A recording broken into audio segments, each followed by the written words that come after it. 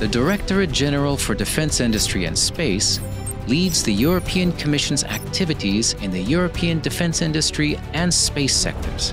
Under the leadership of Commissioner for Defense and Space, Andrius Kubilius, DG DEFIS implements the Union space program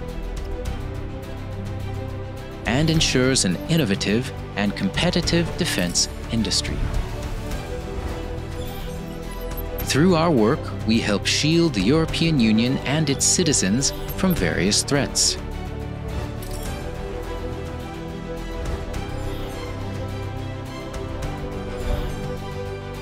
making it more resilient to climate change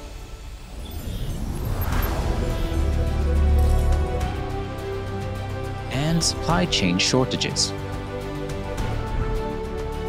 We make sure Europe remains an innovation hub by easing access to finance for space and defense companies while keeping our talents in Europe. Our investment in space and defense is strategic and long term, aiming at a sovereign and autonomous Europe.